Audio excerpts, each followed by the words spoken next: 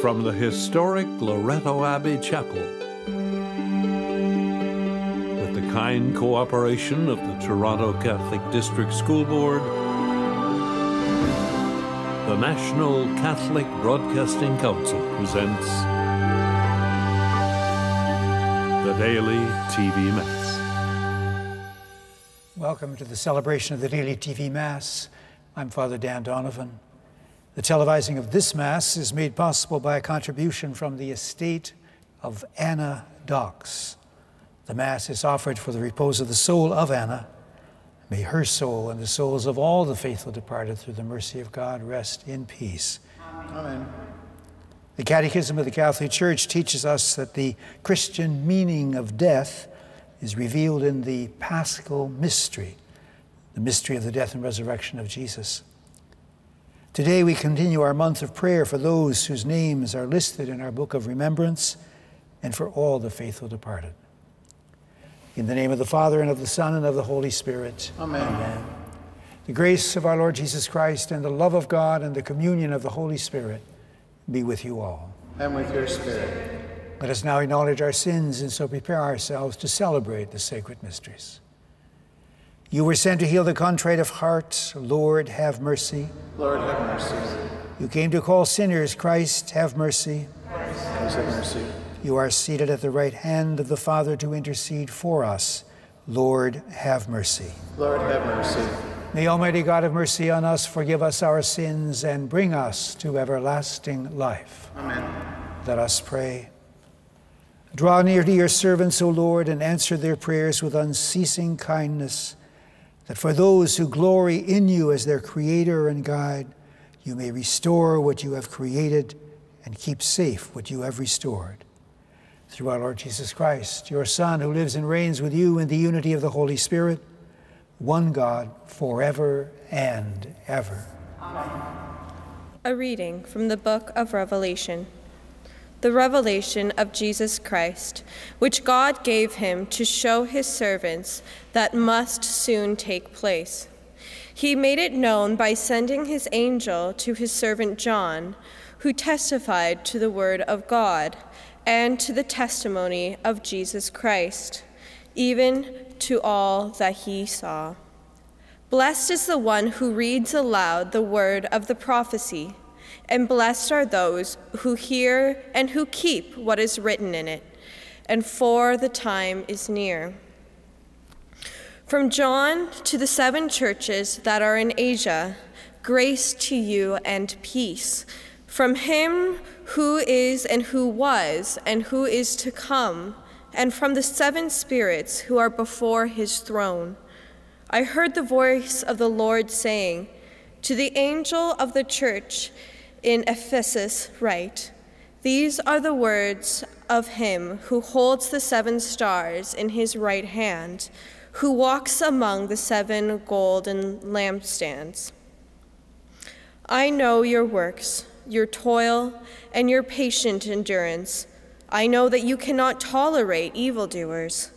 You have tested those who came to be apostles, but are not, and who have found them to be false.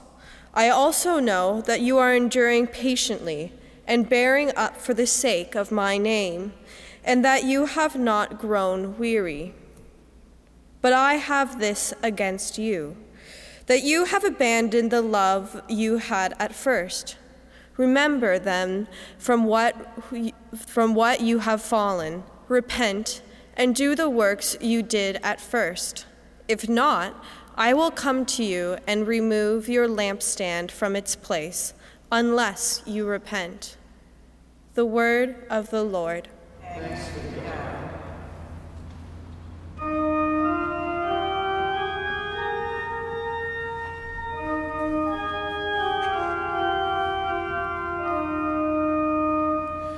Those who are victorious, I will feed from the tree of life.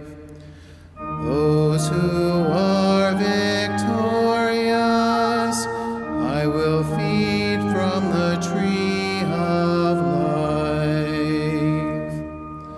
Happy are those who do not follow the advice of the wicked, or take the path that sinners tread, or sit in the seat of scoffers.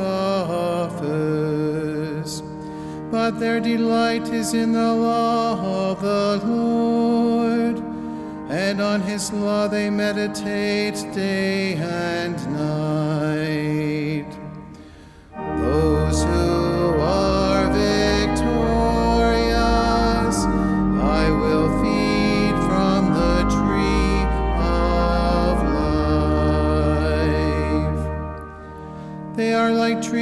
Planted by streams of water, which yield their fruit in its season, and their leaves do not wither.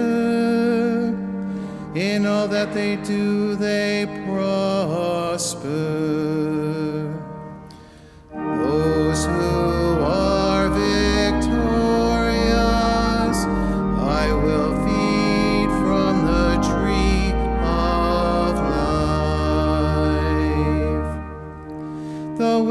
Are not so, but are like chaff that the wind drives away. For the Lord watches over the way of the righteous, but the way of the wicked will perish.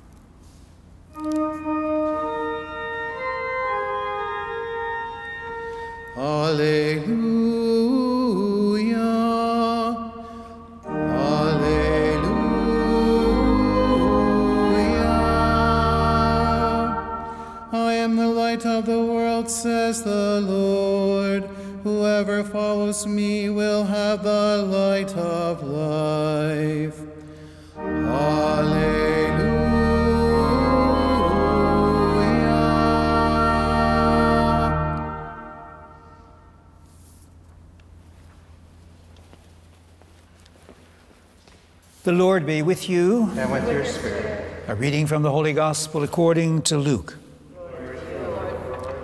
As Jesus approached Jericho, a man who was blind was sitting by the roadside begging. When he heard a crowd going by, he asked what was happening. They told him, Jesus of Nazareth is passing by. Then he shouted, Jesus, son of David, have mercy on me. Those who were in front sternly ordered him to be quiet, but he shouted even more loudly, Son of David, have mercy on me. Jesus stood still and ordered the man to be brought to him.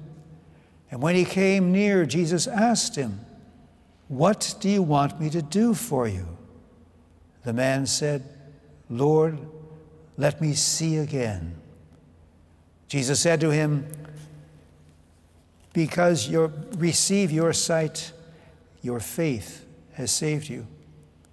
Immediately he gave his sight, he gained his sight, and followed Jesus, glorifying God, and all the people, when they saw it, praised God.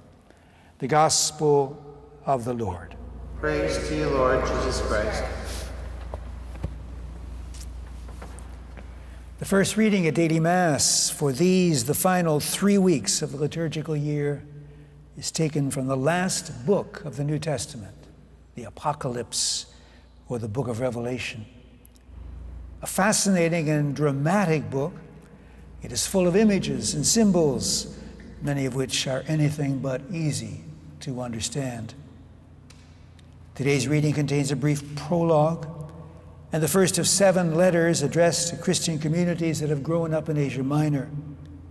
The remainder of the book contains a series of visions, first of the heavenly world and of the liturgy which unfolds in it, and then of the events that will mark the end of time. The book comes to a climax with the defeat of Satan and the powers of darkness and the fulfillment of God's plan for human salvation. The letters have a prophetic quality about them. Jesus speaks to believers in the various churches, praising them for the good they have done and challenging them in regard to their failures. The first of the letters is addressed to the members of the church in Ephesus. After much that is positive, Christ turns to their failings and invites them to renew their faith and their commitment. I have this against you, he says, that you have abandoned the love that you had at first. Repent and do the works you then did. The situation in Ephesus is something that we can all understand. Most of us have seen in ourselves and in others the weakening of commitment, the falling off of love and enthusiasm of which Christ accuses the Ephesians. It might be in our family relationships, our friendships, in our responsibility to the broader society. Sustaining love and commitment over years is not something that just happens. It has to be consciously embraced, worked at, and strengthened. What is true of every other aspect of life is also true of our moral and religious life. It's no exaggeration to suggest that such a life is more challenging than ever for us who live in Western culture. The culture that surrounds us and that permeates our lives in so many ways is overwhelmingly secular. Its focus is so much on this world and on this life that God, Christ, and our ultimate destiny tend to recede from our consciousness. The result, to use the words of today's reading, is that we all too often abandon the love that we first had. At every Mass, the first scripture reading is followed by a few verses from one or other of the Psalms, the 150 songs and hymns that make up the biblical book of Psalms. They include songs of praise and thanksgiving, of trust and longing, songs in which we seek God's help or ask for forgiveness. Well, most of the Psalms are prayers of individuals. Some have a social dimension and give expression to the fears and concerns of the nation in the face of war or of natural disaster. Today's responsorial psalm contains the first of the poems that make up the biblical book. Unlike most of the Psalms, it is not a prayer, but a reflection on the human condition and on the fundamental differences that exist between those who embrace the way of good and those whose lives are caught up in evil and sin. Happy are those, the psalmist says, who do not follow the advice of the wicked or take the path that sinners tread, but their delight is in the law of the Lord, and on his law they meditate day and night. Standing as it does at the beginning of the book, this psalm suggests that we should meditate on the Psalms as devout Jews meditate on the law. And doing so, we will be able to fill our mind, our heart, and our imagination with the thoughts, feelings, and images we find in them. The object of meditation for Christians embraces not only the Psalms and the other books of the Old Testament, but also and especially the Gospels, the letters of Paul, and the rest of the New Testament. The word meditate suggests something more than simply reading a text. It requires us to stop, think about, and pray over what we are reading. The more time we are able to give to meditation, the more chance there is that it will help us, for example, to confront the challenges our culture presents us with as we try to live our faith in as authentic a way as possible. One can read today's gospel on different levels. The literal meaning describes the healing of a blind man by Jesus and the deep faith that impels the man to call out to Jesus in spite of the efforts of others to silence him. Once cured, he follows Jesus, glorifying God for the extraordinary gift he has received. The theme of blindness and the restoring of sight comes back a number of times in the Gospels. The Gospel of John, in particular, can help us understand the deeper meaning of a healing like the one in today's reading. John reports that Jesus once said, I am the light of the world. Whoever follows me will never walk in darkness, but will have the light of life. Many people in our culture are blind to the deeper dimensions of human life. Blind as well to the divine love and mercy revealed by Jesus. Blind to our unique dignity and value as children of God, redeemed by Christ and endowed with the gift of the Spirit. If we find ourselves losing sight of such things, we need, like the blind man, to cry out, Jesus, Son of David, have mercy on us. Let us see again. Let us now, in faith and trust, present before God our needs. For all of us that are sharing in this Eucharist will renew our commitment to Christ and to one another. Let us pray to the Lord. Lord, hear our prayer. For those listed in the Daily TV Mass Book of Remembrance, and for those who have died and have no one to pray for them, that the Heavenly Father may grant them eternal life and let perpetual light shine upon them. Let us pray to the Lord. Lord, hear our prayer. For those who in any way are suffering from the COVID 19 disease, and for those who are working to counteract its destructive impact, let us pray to the Lord. Lord, hear our prayer. Gracious God, we ask you to hear and grant these prayers as well as the more personal ones that each one of us has in his or her own heart. All this we pray through Christ our Lord. Amen.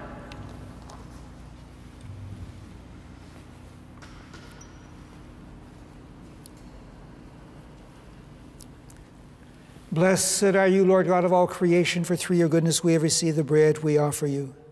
Fruit of the earth and work of human hands, it will become for us the bread of life. Blessed be God forever.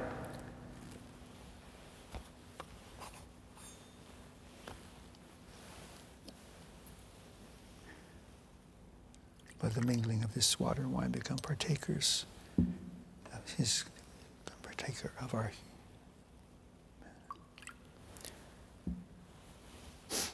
Blessed are you, Lord God of all creation, for through your goodness we have received the wine we offer you. Fruit of the vine and work of human hands, it will become our spiritual drink. Blessed be God forever. Gracious God, we ask you to sacrifice which you have. Wash me from my sins, cleanse me from my iniquity.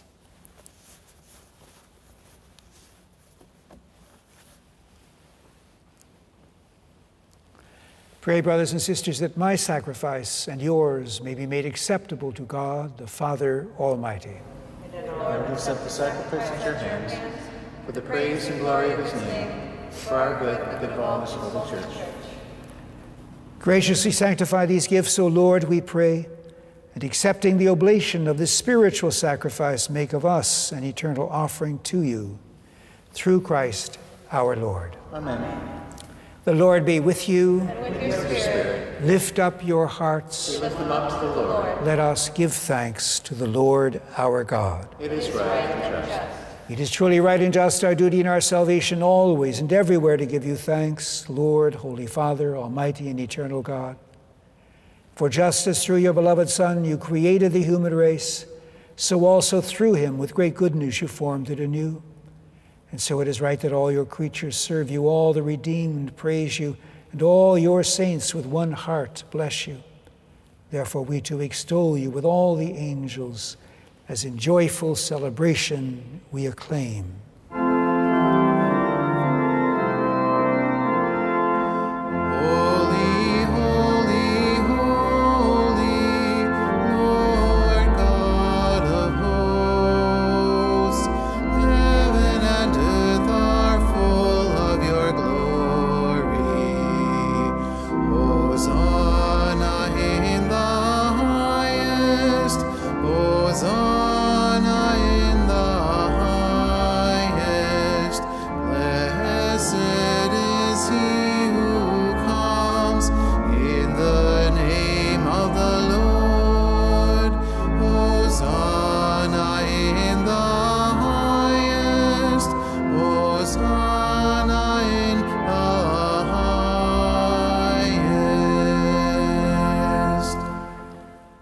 Are indeed holy, O Lord, the fount of all holiness. Make holy, therefore, these gifts, we pray, by sending down your Spirit upon them like the dewfall, so that they may become for us the body and blood of our Lord Jesus Christ. At the time he was betrayed and entered willingly into his passion, he took bread and giving thanks, broke it, gave it to his disciples, saying, Take this, all of you, and eat of it, for this is my body, which will be given up for you.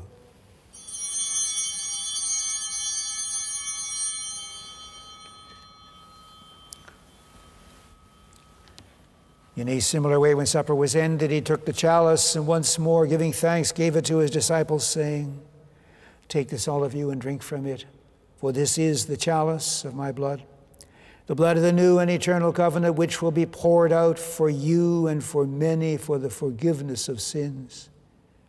Do this in memory of me.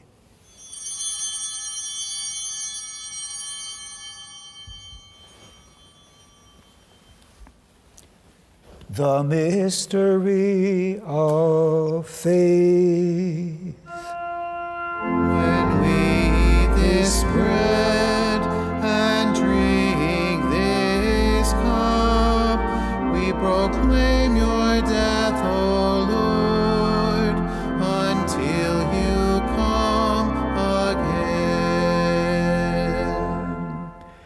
Therefore, as we celebrate the memorial of his death and resurrection, we offer you, Lord, the bread of life and the chalice of salvation, giving thanks that you have held us worthy to be in your presence and minister to you. Humbly we pray that partaking of the body and blood of Christ, we may be gathered into one by the Holy Spirit. Lord, remember your church spread throughout the world and bring her to the fullness of charity, together with Francis, our Pope, and Thomas, our Bishop, and all the clergy. Remember also our brothers and sisters who have fallen asleep in the hope of the resurrection, and all who have died in your mercy. Bring them into the light of your face. Have mercy on us all, we pray that with the Blessed Virgin Mary, Mother of God, with Blessed Joseph, her spouse, with the blessed apostles, and with all the saints who have pleased you throughout the ages, we may merit to be co heirs to eternal life and may praise and glorify you through your Son, Jesus Christ through him and with him and in him. O God, Almighty Father, in the unity of the Holy Spirit, all glory and honor is yours forever and ever. Amen.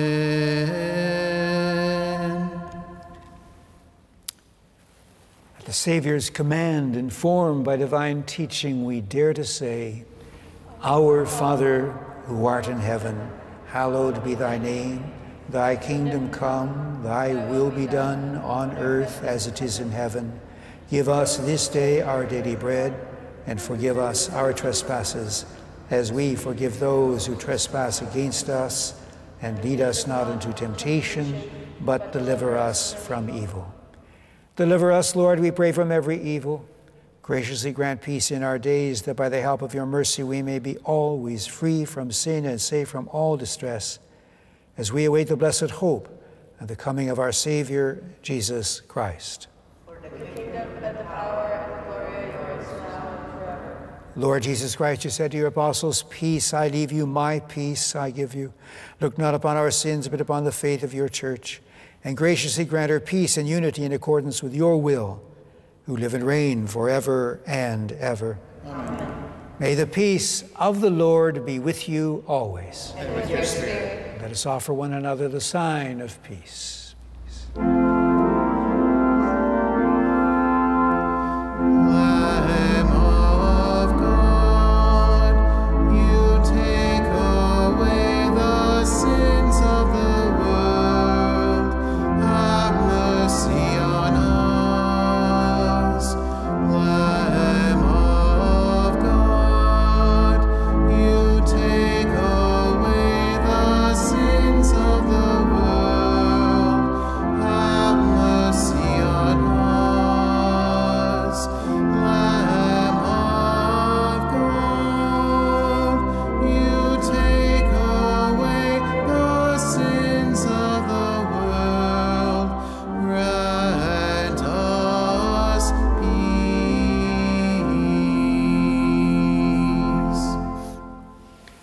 Behold the Lamb of God, behold him who takes away the sins of the world. Blessed are those called to the supper of the Lamb. Lord, I am not worthy that you should enter under my roof, but only say the word, and my soul shall be healed.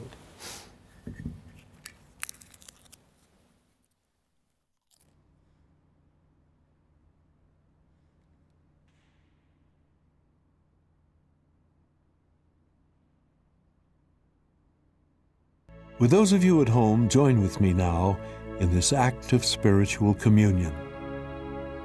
My Jesus, I believe that you are present in the Blessed Sacrament. I love you above all things, and I desire you in my soul.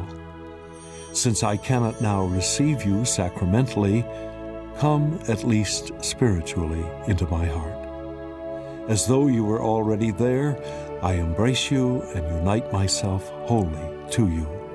Permit not that I should ever be separated from you. Amen.